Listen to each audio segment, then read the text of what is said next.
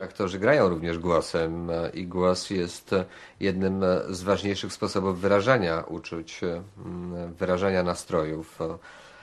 No ale ja sądzę, że w przypadku lektora trzeba niestety z tej warstwy ekspresji emocjonalnej zrezygnować, ponieważ wówczas to lektor by zaczął przykuwać uwagę. No, mnie też nie obsadza się w love story, bo, nie, bo ja mogę powiedzieć kocham cię, kocham cię na przykład albo coś. No więc to też by było niedobrze. Dobre sąsiedztwo to wartość, którą ludzie wysoko cenią sobie na całym świecie.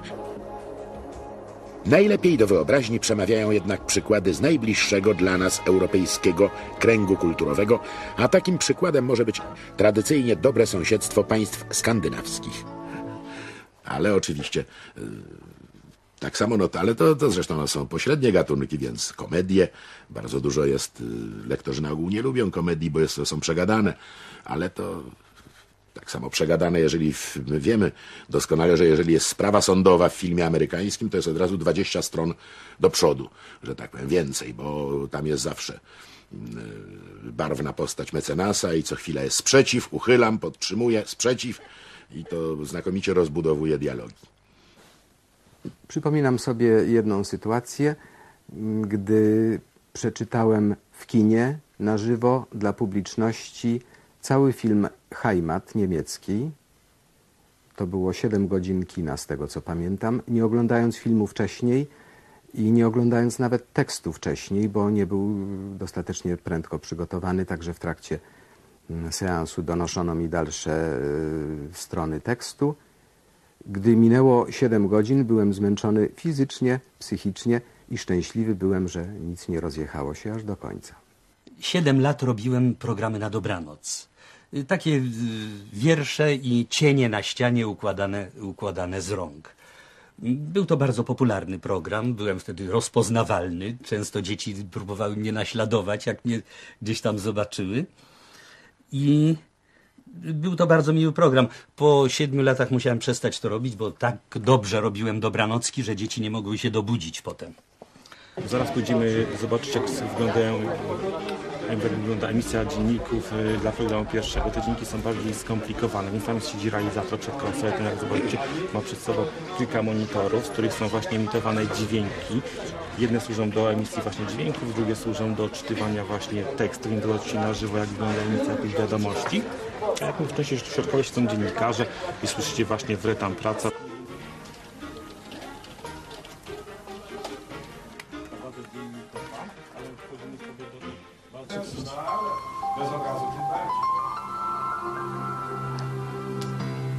W jedynce skrót wiadomości. Premier upiera się, by strona rządowa została dopuszczona do posiedzenia Komisji Nadzoru Bankowego w sprawie fuzji PKO SA i BPH. Podejrzenia nie potwierdziły się. Martwe ptaki znalezione koło Elbląga nie były zarażone ptasią grypą. Podobnie kilkanaście gołębi w Poznaniu. podczas y, dyżuru spikerskiego w programie pierwszym y, łączyliśmy się z giełdą papierów wartościowych. Nie wiem dlaczego przejęzyczyłem się, powiedziałem, to były wiadomości, tu Warszawa, łączymy się z giełdą papierów małowartościowych. No i dopiero kiedy w słuchawce usłyszałem głos Zbyszka Krajewskiego, który wtedy relacjonował z giełdy papierów wartościowych, usłyszałem jak podkreślił, to dopiero skojarzyłem, że mogłem coś powiedzieć nie tak. Hop. Pani, pani, daj chleba, komu chleba, panu chleba, żeby pan dał siana, komu siana, krowie siana, żeby krowa dała mleka, komu mleka, lipie mleka, żeby lipa dała łyka, komu łyka, dębowi łyka, żeby dąb dał żołądź, komu żołądź, wieprzowi żołądź, żeby wieprz dał kieł, komu kieł, kieł, pan dał kieł, żeby pan dał więc, komu więc może, żeby może dał wody, komu wody, komu cikowi wody, bo wójcik leży koło drogi, wyciągnął obie nogi, ani tchnie. Dlaczego w Polsce mężczyźni czytają filmy fabularne? Panuje taka opinia, że kobiety nie bardzo się nadają do czytania filmów z dialogami, filmów fabularnych, dlatego że są zbyt emocjonalne, bardziej grają niż y, czytają. Natomiast zadaniem lektora nie jest zastępowanie aktorów, tylko przekazanie ich kwestii, a więc wszelkie, wszelka gra lektorska no, mogłaby być odebrana jako coś naturalnego, drażniącego, przeszkadzającego. Ale kobiety znakomicie się sprawdzają w filmach dokumentalnych, których jest, kto wie, czy nie więcej niż filmów fabularnych. Oczywiście, że mogłabym być lektorem telewizyjnym. Uważam, że jest to fantastyczne wyzwanie, jak każde inne w naszym zawodzie. Wdech. Wdech. Wdech. Wdech. Do e, bycia lektorem chyba potrzeba perfekcyjnej dykcji, no i sprawnego aparatu mowy, a mi do tego jeszcze daleko. Dwa rezonatory i w przód. Paba. Baba, Tak, dech, pebe. Pebe, Tak, byby. Pyby, Pibi. Bycie lektorem na pewno nie jest moim marzeniem. Poza tym, jak Matylda, uważam, że moja mowa i, i aparat mowy pozostawia wiele do życzenia. Yy, na pewno byłoby to też ciekawe doświadczenie, ale nie chciałabym, żeby, żeby moja nauka tym się zakończyła.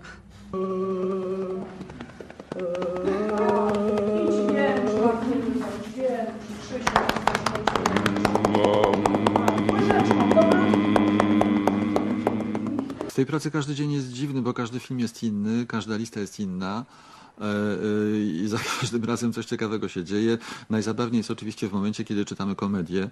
Bardzo często bywa tak, że no, sami ulegamy temu, co się dzieje na ekranie i śmiejemy się i przerywamy nagranie. Ale to wtedy, wtedy się wszyscy śmieją, także to w niczym nie przeszkadza, a wręcz trochę luzu w pracy daje.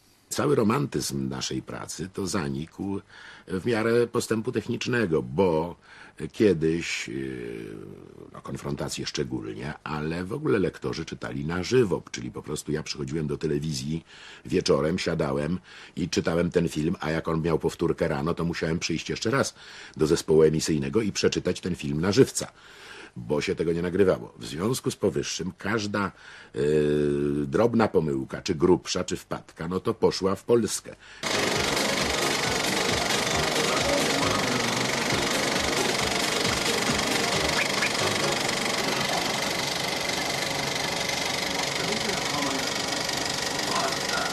No ja znam kilku takich lektorów bardzo dobrych, którzy czytają w publicznej telewizji. E, oni mają taką intuicję, mm, co ja bardzo podziwiam. Pierwszy raz, kiedy się z tym zetknąłem, to nie, nie, nie byłem w stanie uwierzyć.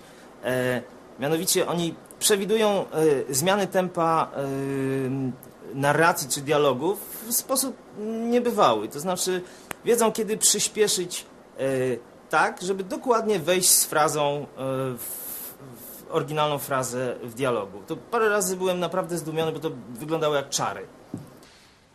Tak, też popierane z różnych kierunków. Tak. Pięknie. O!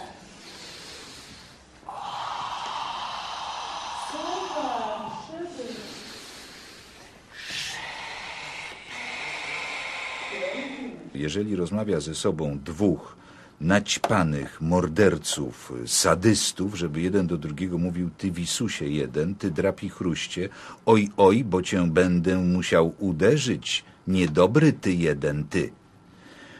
Robi się coś niedobrego, dlatego że y, ja uważam, że to jest tak samo sztuczne i niedobre, jak, nie wiem, okrojenie czegokolwiek.